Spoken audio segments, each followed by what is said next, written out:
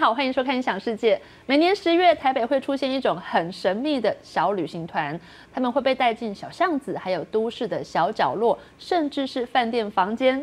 然后现场会出现二十分钟的小惊喜，有一些是偶戏，有一些你甚至要蒙上眼睛。今天我们很高兴邀请到两位好朋友来分享这种很亲密的旅行团。首先是艺术总监石佩玉，佩玉你好，各位朋友大家好。还有我们的艺术家许嘉芬，嘉芬你好，嗯，大家好。嘉芬其实今天现场还带了四个朋友一起来上节目，对不对？嗯，可不可以先请加分帮我们介绍一下玛格丽特？她的动作很细致，然后你可以看到这个偶其实是用木头雕刻出来的。对，然后它的关节就完全模仿人的关节，就是人有什么关节，它就有什么关节，所以非常的细致。嗯，对。那这次比较特别的是，就是加分用了一个比较不一样的形式，就是操作方法啦。因为一般来讲，像这样子的结构可能会变成是悬丝偶，就是吊线上去的。对，可是这次它特别取消了用悬丝偶的方法，而是改用手的操作。嗯，对。那当然，我想应该是试图想要让他的呃，就是人。表演者跟偶的那个接近，嗯，跟贴近的东西又更强烈一些，因为毕竟你隔着线是远距离的事情。有因为他的故事其实是就是呃呃概念来自于那个大师玛格丽特那本书，他讲的是灵魂交换的事，类似浮士德，对，类似浮士德，对，所以事实上他在选用了这个方法，他就会比较希望能够跟人跟超跟偶本身。比较靠近。啊，对，这是这一次偶特别的地方，你可以看到它的细节，对，然后头的动作都非常的细腻，哇，好漂亮。然后还可以再介绍一位呢，Tasha 出来嘛，她的配备也很多哎，她配备很多，对，而且你仔细看，她是一个那个女佣。啊，所以你看，他是在扫地，是在扫地。然后你有看到这个女佣其实很忙，所以你看她轮子上面有非常多的脚，就是她一直飞奔于这个房间那个房间扫来扫去，一直扫一直扫。对，就是偶特别的地方就是说，如果说是人演的戏，我们不能把人变成其他的样子，对吧？但是如果是偶戏的话，我可以就角色的需要去改变他的造型，制作一个特别的样子。For 这个偶戏啊，对，所以这是偶戏好玩的地方，是对角色可以就等于说在角在做角色的时候就已经先诠释了这个角色跟这个戏。对，我们看到加分，其实在操偶的时候脸上表情也蛮多的，非常的入戏，就玩起来了。对。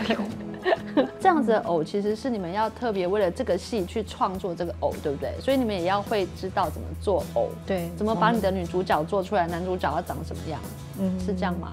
是是是，如果是呃一开始的时候，我们就是接到佩玉的邀请，所以那个时候我们就想，那如果是在一个二十五个人的场地，然后我们要做很。就是比较小的，对哦，我们不需要做很大的，让他们很近接近，然后可以感觉到好像他在动。那那当初的时候，呃，就是我想，那要用什么样的形式？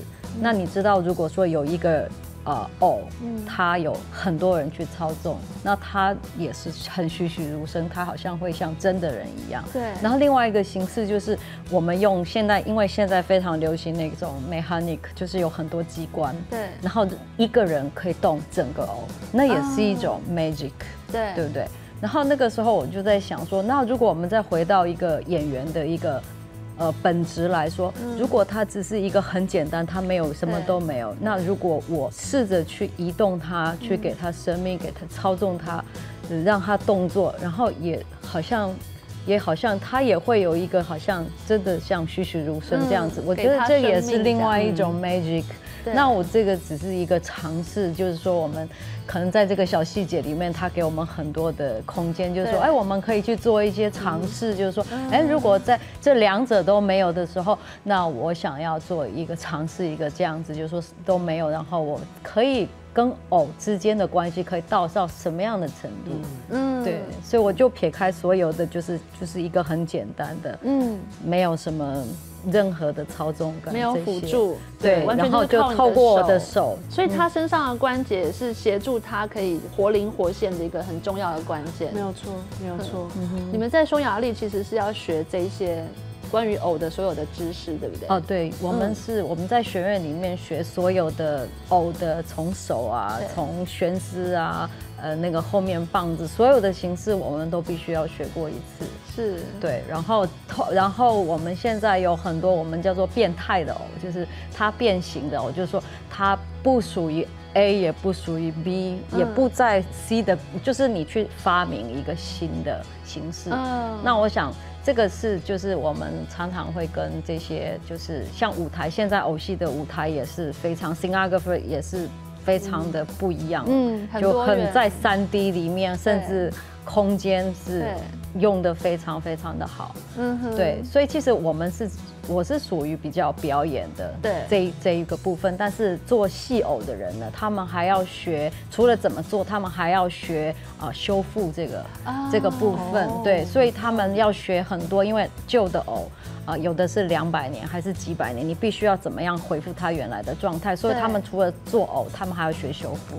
所以这个是可能比较就是学做偶的人，他们我们那边的科系是这样。是匈牙利那边的偶戏学校很专业，它是有专门一个学校就教所有偶的知识？对对对，我们有呃特殊的偶戏学院，对我们有五年的、四年的、三年的、两年的都有。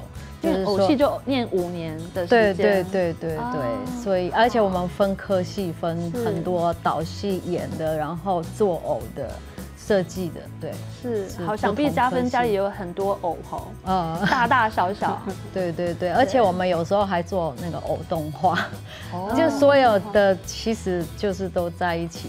对对，所以，我我们那个工业好像在那里的那个工业是很发达的，因为我们每一个城市都有一个偶剧院。对，所以以前我的学校也是国家偶剧院，然后现在是布达佩斯偶剧院。嗯，就是说我们大概有十三个偶剧院在布达佩斯，哎，在匈牙利。是对，所以其实我们的人口可能只有台湾的一半，然后领土好像是两点一一半多，所以在这样的地方呢。其实每一年每一个剧院起码做四个到五个新戏，嗯，所以其实他那里是很蓬勃的，他用在那个小孩子的教育里面，很很多小孩子就是他们都会带带小孩去剧院看戏。希望观众可以比较亲近，可以靠近一点。嗯，对，这靠近是不只是你跟表演者的靠近，对，你跟偶的靠近，当然还有你跟你一起看戏的观众的靠近，就像是我们参加旅行团一。样可能就会聊一下，说啊，刚才看的戏是什么状况？就那个紧密跟亲密，对，那应该是在其他的戏剧观赏经验里面比较少。好，我们刚刚其实前面的那个影片里面，我们就看到超亲密小细节，其实每年都。呃，在台北的各个角落演出，然后看起来真的是一个很神秘的旅行团，是没有错，没有错。因为呃，他的演出的地方、演出的场地啊，我们特别挑在台北的的一些特殊的复合式空间里面。是对，其实就是大家一般人的生活空间，其实就可能是你平常就熟悉去的咖啡厅，对，或者说你本来就知道的书店，但你可能万万没想到说那里也可以看一个小戏，嗯，对，所以它有一点点是借由这个方式去。渗入到巷弄里面，嗯，然后去看台北的另外一个样貌，对，所以是让我们希望带给观众看戏这件事情，不是只有坐在剧院里头正襟危坐，他其实还有另外一个方式去接触表演艺术这件事，对，所以其实看这么近的原因是，像加分，你们你刚刚抄的这个偶啊。如果我不是坐这么近，其实我可能看不太清楚，对不对？没错，这么小，一个大概就这么大而已。没错，加分过去在国外演出的时候，大概都是在什么样的场合？各种各样的场合都有。我还有做过比这个更小的，就这么小的哦，巴掌大这样。对，就这么小而已。呵呵。对。然后大概在哪哪一些？哦，如果是这么小的哦，当然也是就是要很近距离的看。那在哪里的话，我想都可以的。对，就说像当你的偶这么小、这么迷你的时候。一，你必须要很近看，你才看得到偶的魅力嘛，对吧？还有那些细节。再者是也因为这样，所以是它的空间限制就变少了。也就是说，它可以，它可以真的就在咖啡厅的一张桌子上面就演起来，或者说是呃餐厅的吧台上，对。对，或者说是街上街上的某个转角，对，人为聚集起来之后所呈现的那样子的靠近的空间，嗯，就可以演戏了。嗯，对，所以事实上偶。它有很多的可能性，嗯，对。那小细节基本上也是看这件事情，也就是说，呃，因为在台湾，事实上，呃，偶戏这件事情还是比较是在剧场里面。面。对对，那当然布袋戏传统类的除外了嗯，但现代偶戏来讲的话，还是比较在剧场里头。嗯那但是我们觉得，哎、应该不止，它应该对还有其他的可能性。对对，所以小细节就希望说可以找到这样子呃靠近，然后比较紧密的空间，让观众看到那些所有的细节。嗯，就像加分，其实你这个小皮箱，嗯其实你也可以一卡皮箱就演到哪里，没对不对？拿着就就不上班了，就去演戏，坐下来就可以开始演，没错，而且把所有的角色都带在身上。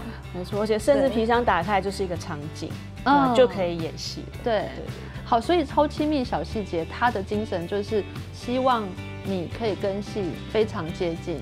对，就是这个部分是我们希望带给观众的啦。当然前面有提到说像小旅行啊，然后去比较轻松的方式去看戏啦，嗯对，像这个是其中一个。那另外的部分的话，当然是希望观众可以比较亲近，可以靠近一点。嗯对，这靠近是不只是你跟表演者的靠近，对你跟偶的靠近，当然还有你跟你 一起看戏的观众的靠近。对对，因为看完戏二十分钟之后，大家一起在路上移动去下一个地方。嗯其实就像是我们参加旅行团一样，可能就会聊一下说啊，刚才看的戏是什么状况，嗯。然后哎，我们是认识的吗？或者是朋友，对。也可以聊一聊，就那个紧密跟亲密，对，那个是应该是在其他的戏剧观赏经验里面比较少的。对，而且看完了之后，大家一起移动去下一个现场，然后再看二十分钟的戏，再移动去下一个现场。是的，除了偶之外，还有很多的表现方式，对不对？是的，嗯应该是这样讲，就是说现代偶戏它其实内容跟定义已经越来越广了。嗯对，可能一般的观众会认为说啊，偶戏它就是一个呃要有人的形状，嗯或者说呃它就只能是做人的故事，嗯或是样子可能必须很像人。但事实上，现代偶戏它其实用到材料就已经完全突破了这件事情。没有形体的限制。对对，或者是说它形体已经可以比较趋向于更抽象或更写意。嗯对，所以我们后来会这样讲，就是呃，偶戏的定义被打开了，嗯说甚至可以说，甚至一些物件它都可以拿来作为偶。对，嗯那这些东西事实上我们都希望可以在小细节里面被展现出来。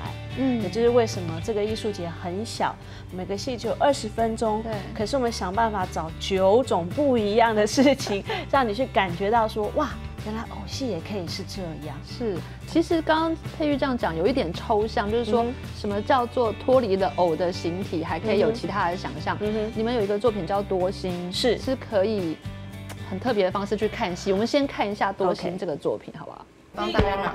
对啊，我们眼睛这边这边哦，提到一上眼睛如何看表演？用听觉，靠嗅觉，还是天马行空的联想力？我老婆过几天会来，她比我小很多岁，小孩也会一起来，所以呢，超亲密小细节节目之一，多心让你感受截然不同的剧场表演。我有一次在那个西门町的电影公园看看电影，但它是户外的嘛，所以对接我印象中就是到一个某一个时候，突然有人情侣在吵架，然后像那个东西就是你你就是会被它吸引，然后你就是没有办法，你不会再 focus 在那个你本来在看的电影上面，然后你就会，然后那些东西永远都看不全，因为他们可能在柱子后面拉扯啊什么的。人总是在看不清事情全貌时，用自己的方式合理猜测，这些都成了多心的创作元素。多心的故事场景与轮廓，交由进场观众自由想象，各自体会。所以这个作品很特别，它跟偶的关系是什么呢？呃，这应该就是刚刚我提到说，当我们要重新再定义什么是偶戏的时候，那我最常讲就是它比较像是光谱的一端，也就是说，如果一端指的是布袋戏或传统我们知道的既定的那些偶戏的话，那这个呢，多星这个就有点是光谱的另外一端，也就是说，它已经把物件这件事情，就不单单就除了形形体之外，他已经去掉这件事，而是用物件去用声音上面。然后塑形上面去呈现那样子的的表现内容。对，所以多星其实对小细节来讲也是一个很大的挑战啊，因为要把观众眼睛蒙起来。是，对，而且必须要让大家都听得到那些声音，而那些声音又不单单只是像是广播剧一样，因为他们仍然会让观众感受得到物件本身，就摸得到、对，闻得到。闻得到，然后碰得到。是，对，像这样的东西，有点是全方位的一个剧场吧。有时候偶它不见得是偶，嗯，对，有点是抽象。什么东西都可以是偶，嗯。所以是这样的一个概念，就是说你什么都可以是偶。嗯你可以去动作它，所以其实现在偶剧场有很多的，譬如说舞蹈剧场啊，或者是一般的剧场啊，或者是儿童剧场，常常都是来来偶剧场看戏取经的。其实所有东西都可以是偶，其实某种程度就是我刚刚提到所谓物件剧场，嗯那它也可以成为就是偶戏的一个一个手法。对对，因为举例，譬如说，呃，我们通常有时候甚至拿起一个杯子，对你就想象咖啡杯，对不是一个把柄吗？对，你把咖啡杯的把柄想象成是偶头的鼻子，对，在咖啡杯的左右两边贴上两个眼睛，它就是一个偶头，然后它就可以拿这个来演戏。是，对，但它这件事完全不像我们现场看到这些木雕的偶，对，对，它这么具象，对，这么具象，嗯所以它比较抽象，比较写意。嗯所以你在想，再进一步想象，这样子咖啡杯的头嗯的表演是可以去跟舞蹈结合，啊，对，然后是可以去说故事，嗯，对不对？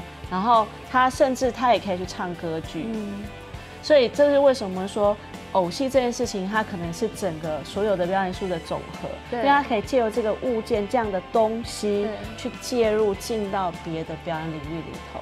嗯对，所以我们才会觉得说啊，它都可能啊，没边没界的，完全什么都可以。他就是把手机当成一个介质，就是让你去想象说你跟手机的互动是什么。嗯那甚至有几个画面是用手机的那个拍摄功能，嗯你就看到五只手机组合成一个五官，嗯然后再散开来。对，所以它是整个走的是非常的抽象跟写意。是。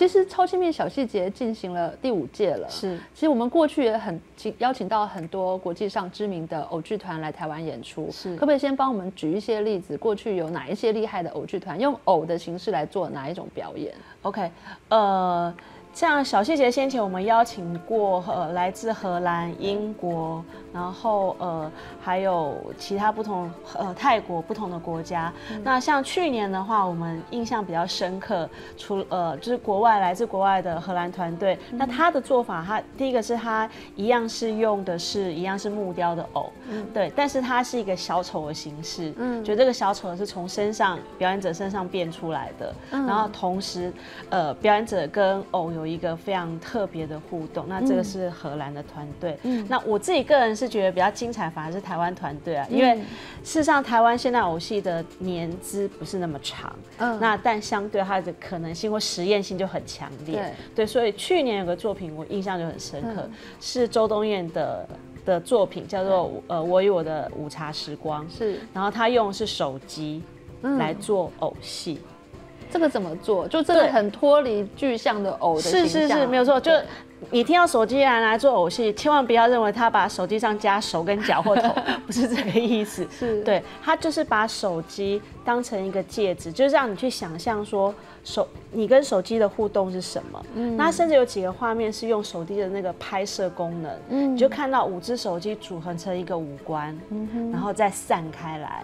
然后这五官其中有一个变成了像是飞机，像是那个呃飞机，我们坐飞机的时候外面那个机机翅机翅上面的闪灯，机翼上的闪灯，然后有的时候又回到你的手上，变成你阅读的东西。对，所以它是整个走的是非常的抽象跟写意。是，对，然后包括它用了很多手机上可以使用的功能，对比如说滑手机啊、赖的声音啊，嗯对，然后时间的计时啊、拍摄啊、即时转播，像这样的东西，嗯，对。那你说它是不是偶戏呢？其实我认为它是，它在光谱的另外那一边。啊，对，那这好处是可以让观众在看九个小细节节目的时候，他可以做一个比较性对。这是手机，那其他譬如说，呃，我们也邀请了台湾的偶戏家跟陶艺家合作，嗯所以他烧了很多的陶。嗯，那这件事情很怪的原因是因为，通常我们做偶会希望偶很坚固，对，偶比较轻，对偶可以操作，嗯，但陶瓷完全相反，易碎难很重。很重，对，不好动，所以他完全挑战了那位偶戏艺术家这件事要怎么玩。嗯，对，所以有很多的实验性的的东西在里面跑啊，嗯在小细节这些作品里面。是对对。所以可不可以请佩玉最后帮我们说一下超亲密小细节，他最后想要达到什么目的呢？呃，其实他有几个目标啦，就是说，呃，当然所谓这个艺术节的呃核心价值来讲，我只是价值的部分，其实它是在标示说，我们想把一件小事情做到最好，它就是嗯。大事。对。对，所以这么迷你，这么多手工的事情，动员这么多的人，嗯。那在艺术层面上来讲的话，其实它的艺术核心概念当然还是回归到偶戏本身，嗯。嗯，就是希望它未来可以成变成是一个呃偶戏的实验平台。嗯，对，因为就像我刚刚讲，在我们在寻找偶戏的定义里头，对去做各种不同的尝试，对跟不同的艺术家冲撞，嗯然后去展现不同的样貌，嗯，对，然后再的话，它的呃整个企划规划上的价值，针对观众来讲，当然希望带来大家一个比较轻松的关系经验。嗯对，所以整体来讲，嗯，超亲密小细节，希望就是能够跟大家，不管是跟偶戏家、艺术家，或者是观众，能够保持一个很亲近、很亲密的一个零距离实验。对。